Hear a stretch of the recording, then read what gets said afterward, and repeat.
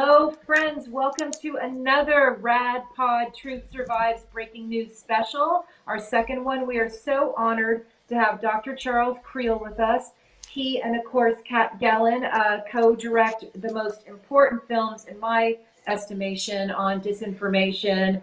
People You May Know, a very critical documentary. If you haven't seen it, please do. And Disinformed, uh, which features a fantastic. Uh, a critical quote from Wa. uh, I'm just joking. I'm very thrilled that that is actually being seen because uh, more people need to see it. It's how people are being radicalized. And we just learned, you know, of another woman who died from COVID who was perfectly normal before she was mm-hmm. radicalized online due to an injury. And hearing her children's reports uh, was just absolutely tragic.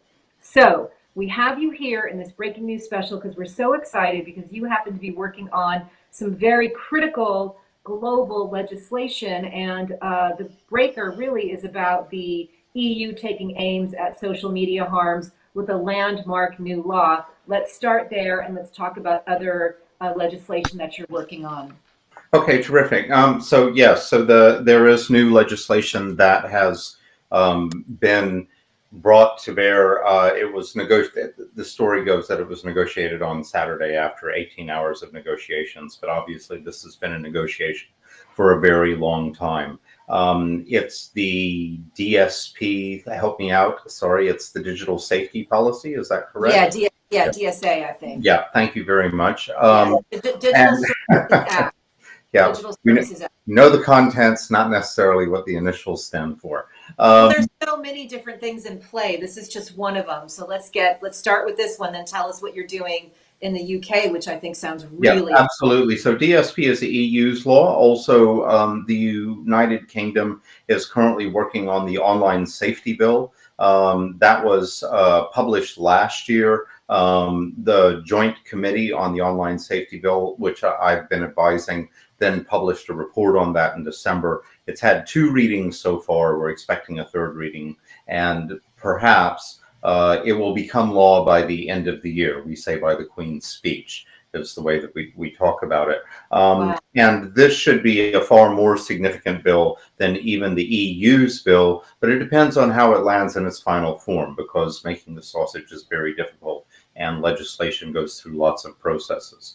Um, there are significant differences between the EU's bill and the uh, online safety bill, and we can get into those. Um, but another thing that I'm working on is a current study on online uh, political advertising. And this is a study across several nations in the, in the world, and that's with the International Foundation for Electoral Systems in Washington, D.C. And this should be a seminal study.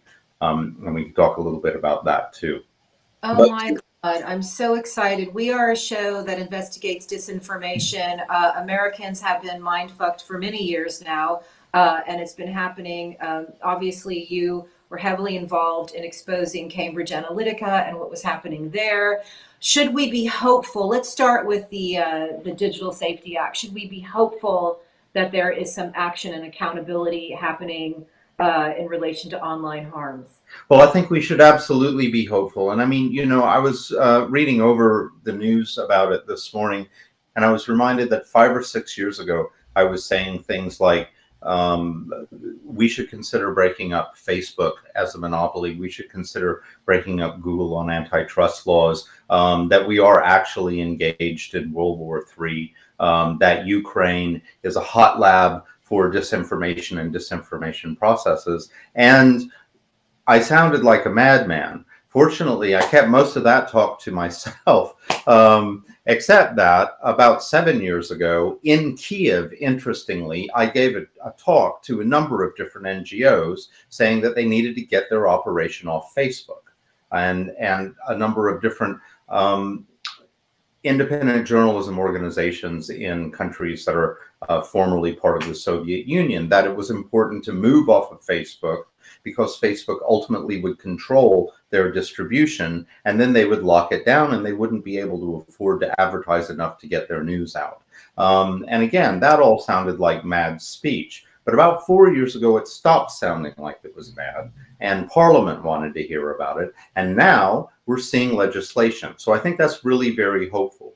Now, what we should worry about um, There are a lot of detailed questions I have, but the primary thing is how is enforcement going to work here? Mm-hmm. And is there going to be sufficient budget for enforcement of these new yeah. laws? Yep, that's a great question. I've had a similar question for the uh, for the class action settlement against Facebook uh, for their content moderation. They had all these provisions that they were supposed to put in place, such as counseling, you know, a certain number of hours, etc. And uh, uh, you know, how is that going to be enforced? How is that going to be handled? How is that going to be uh, built into their their hourly uh, schedule? But um, has yet to come out. So, but um, anyway, so, yes. Well, apparently, what a, time in what, what a time in which we live. I just want to say, you sent us everything that said that Facebook knew this was coming down and moved uh, moderators out. What happened? Uh, well, that was that was when uh, GDPR, the General Data Protection Regulation, came into force, which I think was 2018, if I'm right about that. Um, right. GDPR looked really powerful, and it was going to be a way to protect individuals' data across Europe. Um, it if even if a company was based elsewhere, like Facebook in Silicon Valley, um, if they were pro processing the data of EU citizens and they were subject to the GDPR. Um, if they were processing data from other countries, but doing so in Europe, they were going to be subject to GDPR. And just before GDPR came into force, Facebook moved the processing of all Facebook accounts that were not European off European shores. Mm -hmm. So they would not be subject to the GDPR. Now, GDPR is not that demanding. It's not yeah. that difficult. It's it's it's pretty much just about reasonable protection of the data of your users. But that you would move most of your users away from that law um, tells a lot. You know, there's a thing about legislation. Legislation is not there uh, in order to control the actions of reasonable people. Legislation is there to bring enforcement against bullies. And most of these big tech companies are bullies because most VCs are bullies. Because yeah. VCs are bullies, then boardrooms are full of bullies, right. and then the business practices are based on being unreasonable. You have the sociopathic business model at that point. Yeah, that's indeed so, the case. So we have a saying in America: "Oh, they're too big to fail." Um, I would like to change that and say that they're too big to be trusted.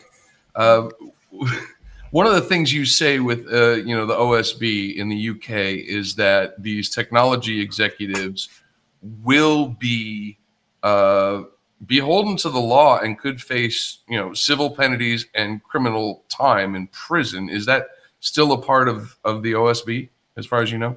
Uh, so the online safety bill. I think the criminal provision has been taken out, but again, we can't really predict what it's going to yeah. look like when the time comes. Um, but I think without a criminal provision, uh, and let me let me just talk about that briefly so the listeners understand. Mm-hmm. It's the idea that should one of these data giants, um, which and I'm including the social media networks with that, and Amazon, a retail giant in data, um, should one of these data giants break the law, um, they have the opportunity to correct that and pay a penalty. But if they continue to break the law, uh, then somebody within the company who has been designated as the data officer should go to jail. There should be a carceral sentence. Now, my personal opinion is that somebody should be from the board of directors um, so that it has hmm. real teeth, not that yeah. you just name a patsy, pay them right. well, yeah. and then don't empower them enough. Yeah. Um, but it should be from the board of directors the reason you have to do this, and it's so terribly important, is that these companies have so much money that even if you're talking about a fine into the billions, they can just fold that into their annual business model which right. they do frequently, and I've seen that in a lot of uh, uh, healthcare cases, and you know, uh, defective product cases, things like that. They'll right. just they'll just fold in their, uh, you know, the uh, you know, two point five billion dollars in Johnson Johnson's case. They'll fold it into the shareholders' dividends. They'll release it in their right. in their in their quarterly reports, and and they just pay the fine, the cost of doing business, and they move on. And That's without any right without any, without any teeth or sort of criminal action, which we've been pushing for for years now um, they just pay the fine and move on. You know, and it's, it's, if it's not a part, if it's not a part of the EU's law, if it's if it ultimately is not a part of the UK's law, then we as citizens have really lost something. So I would be disappointed to see it if it's not there. It could come. Yeah. Laws change. You know, we we we evolve and progress. One hopes. Mhm. Um, although we I just feel like what I'm hearing without the criminal provision is what has continually hampered justice in America when it comes to high level white collar criming. oh yeah. And that is, I think about Deutsche Bank, you know, oh, they're going to process, you know, $10 billion of oligarch cash and then pay a $600 million fine. And they keep on trucking along, you know, and if, if and, and our, we have a friend who's a former IRS criminal investigator who a year and a half ago when we were talking, he said they have to bring back the Yates memorandum, which actually would put white collar criminals behind bars if they did not uh, follow the law when it comes to this type of these types of financial crimes. And without that kind of enforcement, I just feel like you're always going to have, you know, Elon Musk et al. acting like masters of the universe, and we've got to stop that. I believe. So this is absolutely uh, essential that there be carceral sentences for this reason. It's also it's also really important that it be there for electoral law um, and online electoral law specifically, because if you have a breach if you have a breach of electoral law, so at the moment there are almost no countries in the world that have very specific legislation around, say, spending caps on online political advertising. That no specific legislation, and in the UK, 75% of political advertising is now online and there is no specific legislation mm-hmm. okay? If you don't if you don't have a system where you have clearly identified breaches of the law and you've funded enforcement and monitoring to the point where they can very quickly address this get things taken down but also prosecute straight away hmm. and let me add to with that prosecution, there must be an opportunity for appeal so the law is not abused. But if all of that can't happen really quickly within the electoral cycle, then by the time the issue and the breach is addressed, the person who committed it is already in office and it ain't going to happen. Yeah. Wow. Yeah, you've all you all you've done is legalized, you know, paying for uh, you know illegal political activity, right? Yeah. I mean that's that that's all that is. If no if if no one's going to jail and and you know there's a big organization paying the money, uh, I have one question, um, you know, for you. Uh, So in terms of uh, white collar cli- crime and the guys at the top, right? Making those kinds of things a crime and and putting people in jail is critical.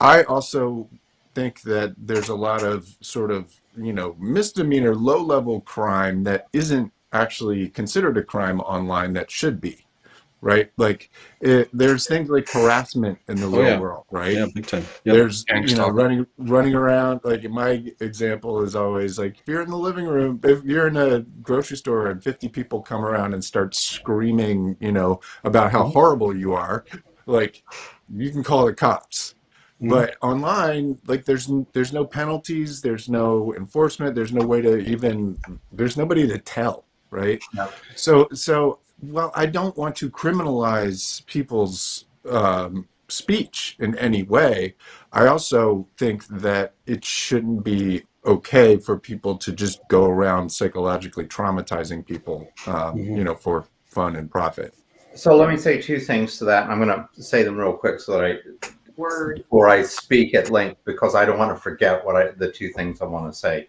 Um, one is I'd like to talk about legal but harmful, uh, legal but harmful, and I, and then I would like to talk about online misogyny.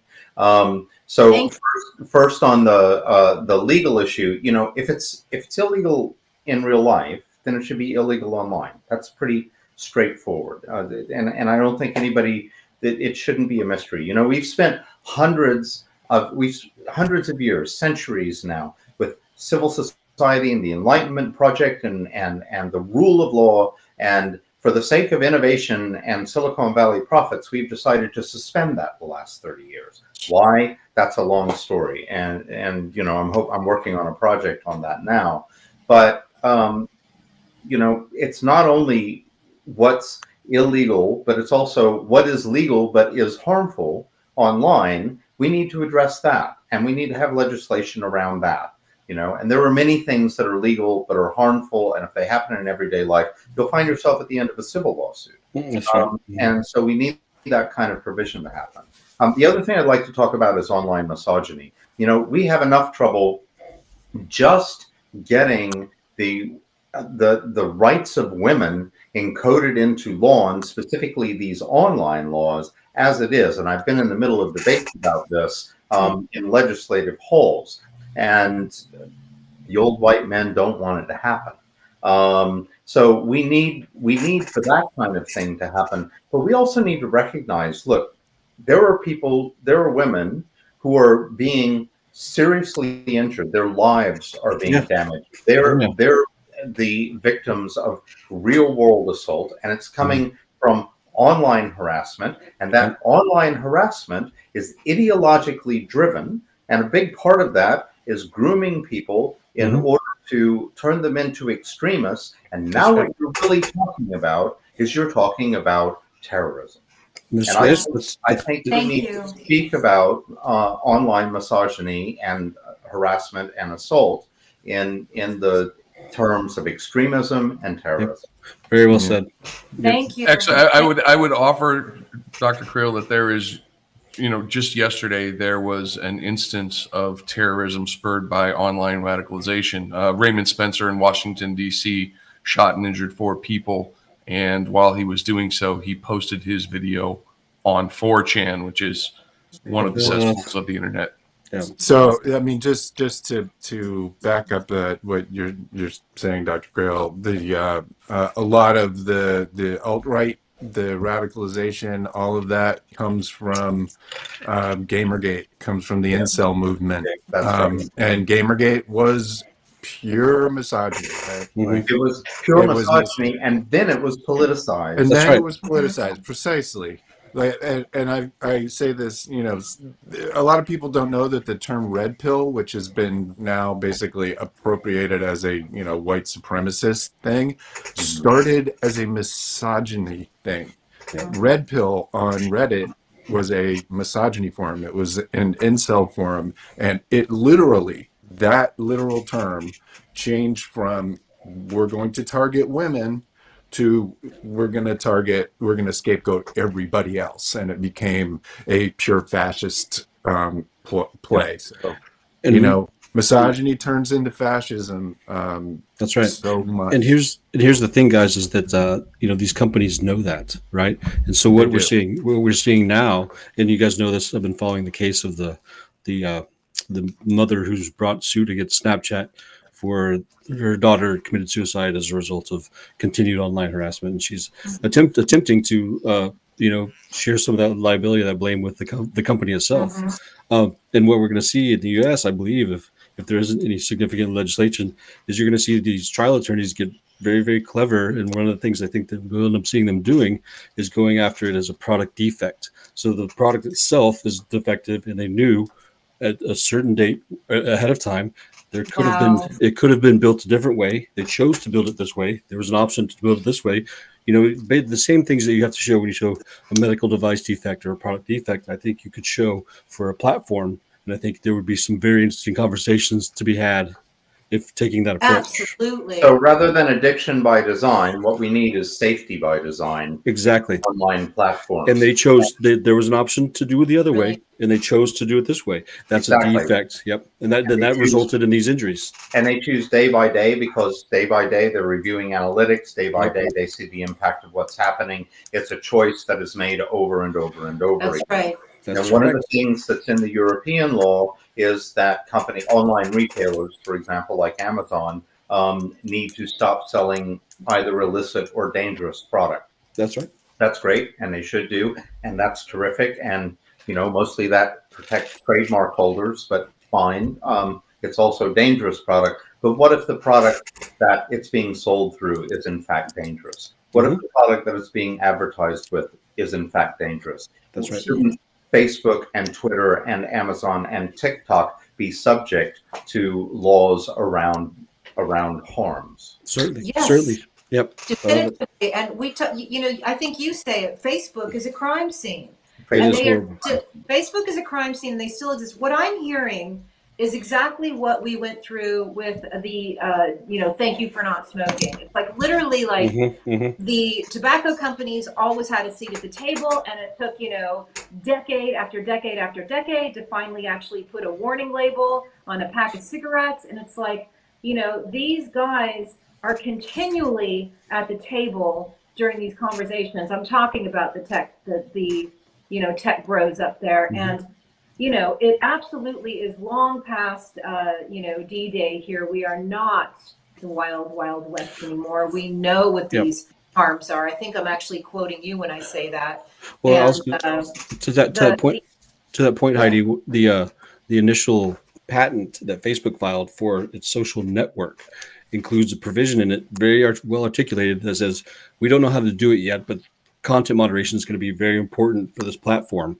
This was, you know, in 2002 or three or whatever it was. So they knew back then. They said, and that's fine for the patent. We don't know how to do it, but it's going to be a huge part of it. It's going to be very Yeah. important in the initial patent from that time period. So to see how little they, they've really done significant significantly since they knew when the idea came up that this would be important, and they have chosen time and time again to either assign it out to some third party, Accenture or whoever, and not you know try and just bury it away and just not deal with it. They knew that it was going to be hugely important. and we've read the reports of the despair and the depression and It's what so the horrifying. Moderators go through. Like, you know, we all have children. All five of us have children. And we have to ask ourselves every freaking day, what kind of world do we want them to be raised in? I do not want this train to continue on this track. And that is so why we wanted to do this breaking news special with you, because there is a little bit of hope in this legislation, but we need it. We need it now, and we need it hard, and it needs Yeah. to be. fixed. Just one, one, one more thing about legislators. You know, um, we we tend to we laugh at them when they interview Mark Zuckerberg and ask stupid questions, right? But most of those legislators got into office because they have very sophisticated social media operations. Yes, that's right. They're not stupid. They know what they're looking at. They know the power of social media and they know what it does. So we need to ask more of those people too. Good point. Very good point. Oh my Um, God! I think that's that wonderful. might be it. Yes. I think it's time for us guys. But thank you so much, Dr. Kriel. This was Thanks, yet, Brad. yet another fantastic interview. Yeah. Always And have- is, is there one is there one last line you can plant uh, in the seeds of our viewer who are global? One last like broad takeaway for people. I think I think a really broad take on this is a part of everything that we've talked about has been bullying. When you're talking about bullying, you're talking about psychopaths, and that's what laws are for. I Perfect. just I thank you Or so much in for that. I thank you so much for that. That was amazing. Well, thank you Thank you, so sir. much Thank for you. participating in our Thank you. second breaking news special. And whatever you're doing uh, undercover down south, keep it up because I'm sure it's brilliant. Please give our love to Kat and your daughter, and uh, hopefully we'll see you soon.